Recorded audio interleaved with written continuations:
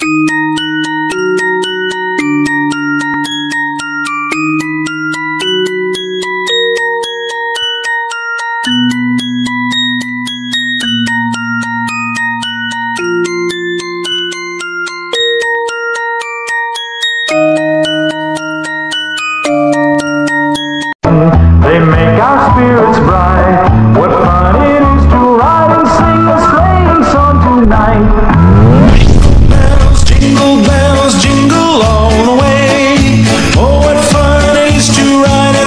in a one-horse open sleigh.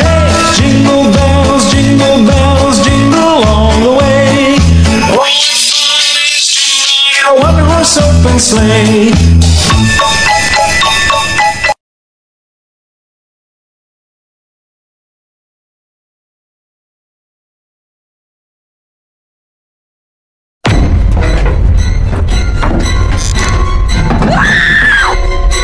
The matter? Are you scared? Does my appearance make you want to curl up in a little ball and cry? You know, I wasn't always this way. Help me! Quiet!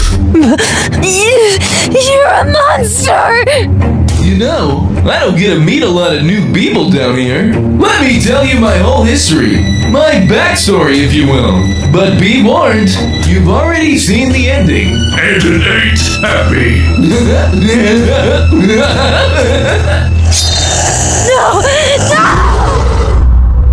It began on a dark and stormy night. That's me, your typical Playtime Co. factory stooge. I had dreams of earning a promotion, maybe starting a family. But that night changed my future forever. This has to work. We're so close. That stock was in the toilet, and the boys upstairs were willing to try anything to make our products more appealing, more lifelike.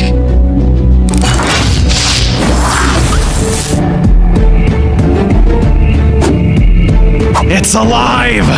I had been working on a new toy alongside the chief toy maker, a fuzzy little blue monster, but we could never get the specifics just right.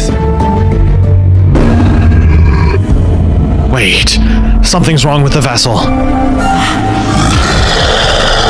You! Are you blind? Shut it down! Shut it down! I pulled as hard as I could, but the prototype had gone rogue. Help! It won't listen to my commands! I thought the boss was done for. Then, at the last second, for a moment, I was too deep in shock to scream. Our secret project had failed, and now our whole assembly line was kaput. The boss seemed to think we could bounce back.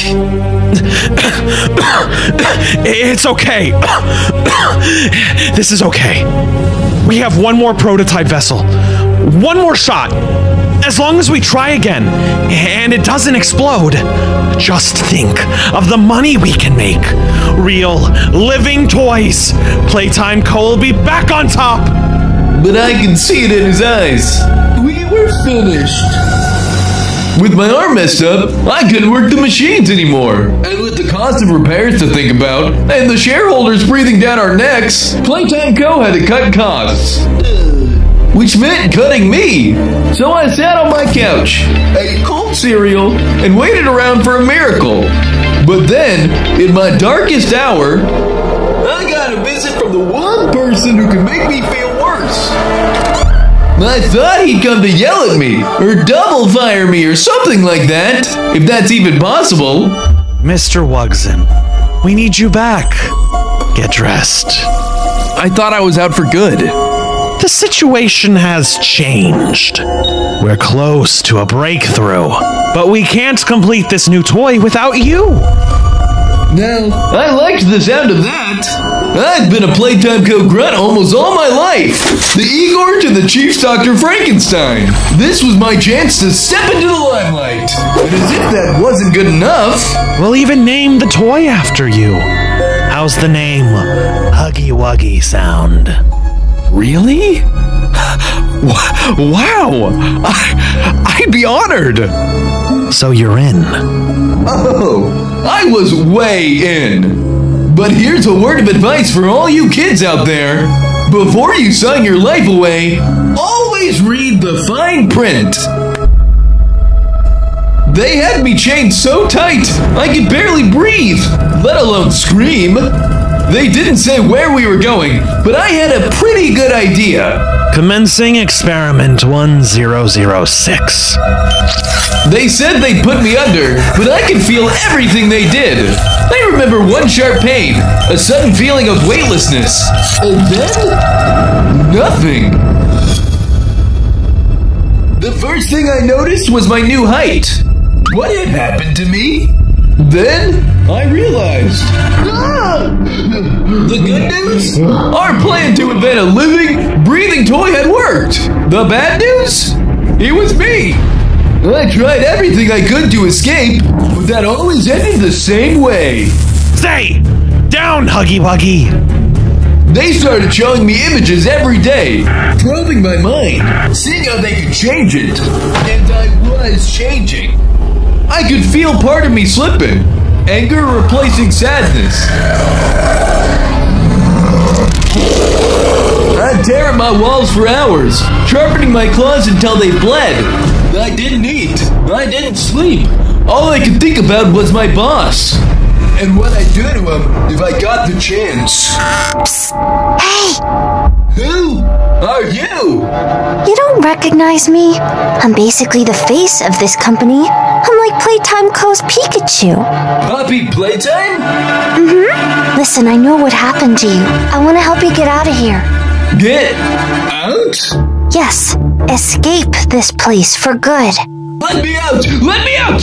Hold your horses. This vent's way too small for you to fit through. I'll wait for a changing of the guard, then I'll bust you out. I gotta go. Remember, wait for me. So I did wait. I waited for hours, long into the night. So long, in fact, I began to doubt myself. Had I really seen Poppy in the air vent? Or was she a figment of my tortured brain? I waited, and waited, and waited until she came!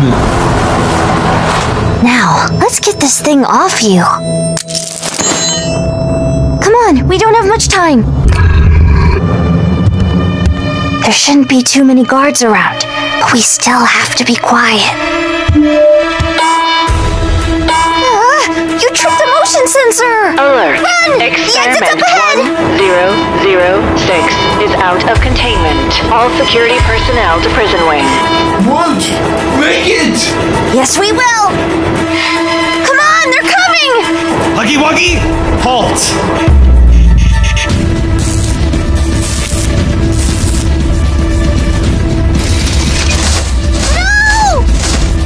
Don't make me use this.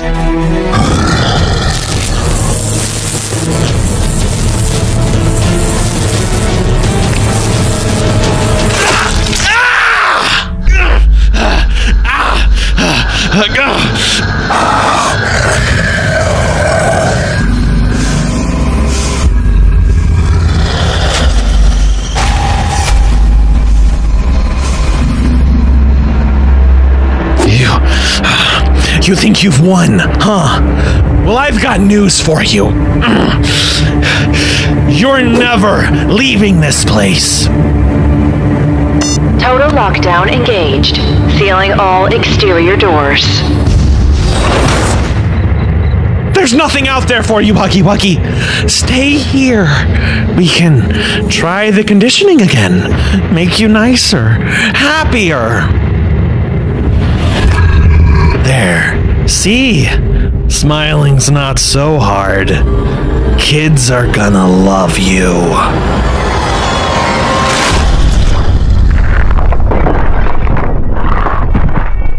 I'm not leaving this place without you. I'll be safe here until I can find a way to save you. So that's my story. Any last words? You, you're a monster! You keep saying that.